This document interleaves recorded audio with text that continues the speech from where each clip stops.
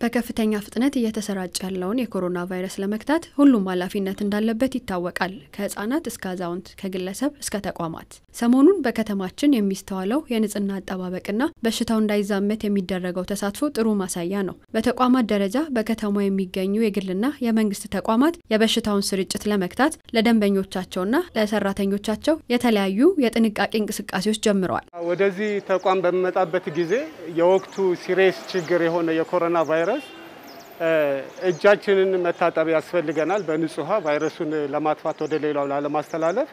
ስለዚህ ተቋሙ ከሚያደርገው የመከላከል ስራ አንዱ ያው እጅን የመታጠብ ስራ ስለሆነ እኔም ያንን አከናውኜ ቢሮ ለስራ እየገባው ነው ያለሁት።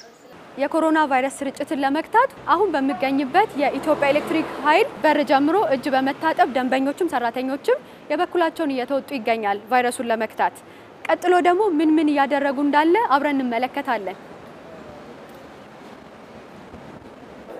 ይህ የምትመለከቱት ካሜራ ለደንበኞችም ሰራተኞችም የሙቀት መጠን የሚለይ ነው።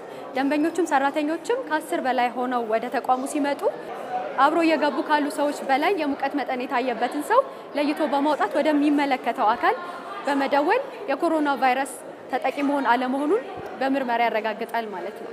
ይሄ ካሜራ ከማንኛውም ርቀት ላይ ሙቀትን መለካት የሚችል ነው።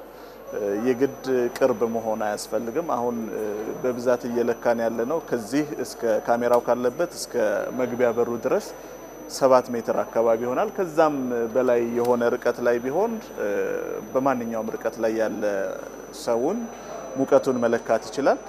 በተጨማሪም አንድ ጊዜ ካሜራው አንድ ሰው ብቻ አይደለም የሚወስደው። ሶስት አራት እንደዚህ ሆነው ተደራርበው ሰዎች እንኳን ቢመጡ የእያንዳንዱን ሰው ሙቀት በመለካት ካስቀመጥነው ከፍተኛ የሙቀት መጠን ከፍ የሚል ሰው ካጋጠመ አላርም በማሰማት አስፈላጊውን የጥንቃቄ እርምጃ መወሰድ እንዲችል ፍንጭ የሚሰጥ ነው።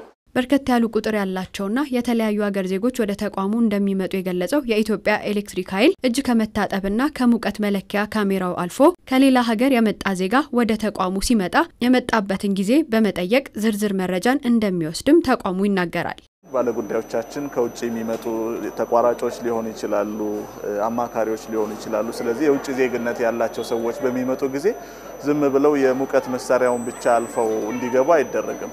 ሲመጡ reception ላይ እያንዳንዱ ባለጉዳይ መታወቂያውን አሳይቶ ፓስፖርቱን አሳይቶ ስለሆነ የሚያልፍ ከውጭ የሚመጡ እንግዶቻችን ይሄ 14 ቀን የቆይታ ጊዜያቸውን ያለፉ መሆናቸውን በአግባቡ ተፈትሾ ነው ወደ ውስጥ እንዲያልፉ የሚደረገው። ስለዚህ እሱም ተጨማሪ የጥንቃቄ እርምጃ ነው። የየዕለት እንቅስቃሴያችን ሲፈተሽ ጥንቃቄ ጎደለውና ብዙ ንክኪ የበዛበት በመሆኑ ለቫይረሱ የበለጠ ተጋላጭ ያደርገናል። በተለይ በምንሰራባቸው ተቋማት ላይ ሊፍትና ሌሎች ብረት ነክ መሳሪያዎች መንካት የተለመደ ነው። ይህን ንክኪ በማስወገድ የኢትዮጵያ ኤሌክትሪክ ኃይል ለሰራተኞቹና ለደንበኞቹ ከእጅ ንጽህና ባለፈ ሊፍት ሲጠቀሙ የተለየ ጥንቃቄ እንዲያደርጉና ቢቻል የበሽታው ስርጭት እስኪቆም ድረስ ሊፍት እንዳይጠቀሙ ጭምር ይመክራል።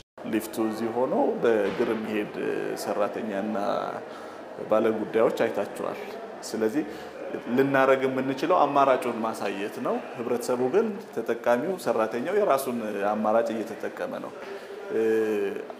ሌላ እንደ አማራጭም የተደረገው አሁን ቁጥሮቹ ሁለቱ ሊፍቶች ላይ ቁጥሮቹ የተለያየ እንትኖች set ተደርገው ከስምንተኛው ወለል ጀምሮ ወደ ላይ ከፍ ያለውን እስከ ሀያ ድረስ ስላለ ወደ ላይ የሚወጣ ሰው ብቻ መጠቀም እንዲችል ተደርጓል። ይሄም ሌላ ምናልባት discourage የማድረግና ህብረተሰቡ መጠቀም የቻለውን ያክል በእግሩ መውጣት እንጂ ይሄ አንደኛው ቫይረሱን ከመከላከል ባለፈ ጤናማ የሆነ ኑሮን አብዛኛው ሰው ቢሮ ቁጭ ብሎ ስለሚውል ቢሮ ቁጭ ብሎ ስለሚሰራ ይሄንን ነገር የሚያገኝበት እድል ጠባብ ነው። ስለዚህ የተወሰነች የሚንቀሳቀስበትንም ሰዓት እየሰጠ ነው ስለሆነ የተሻለ አማራጭ ነው።